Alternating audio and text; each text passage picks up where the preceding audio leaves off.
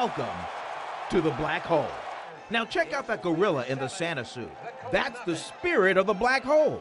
Gorilla Rilla, a fixture among the rabid Raider Nation, created over 20 years ago at a garage sale. And I first seen the head, I'm like, whoa.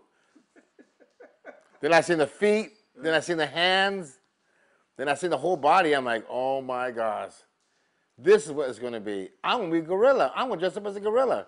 Few in his jungle know his true identity. Every Raider fan knows his passion.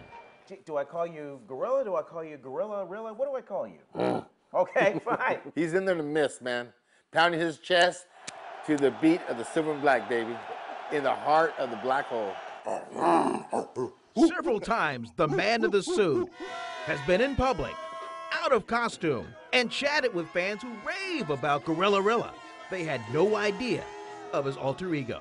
Hey, you know, do you know that gorilla guy? I said, yeah, I've, I've, I've, I've seen him around games and whatnot in the parking lot.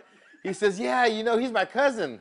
And uh, we're good, you know, we're close. I'm like, uh, I said to myself, you're not my cousin. Who's this guy?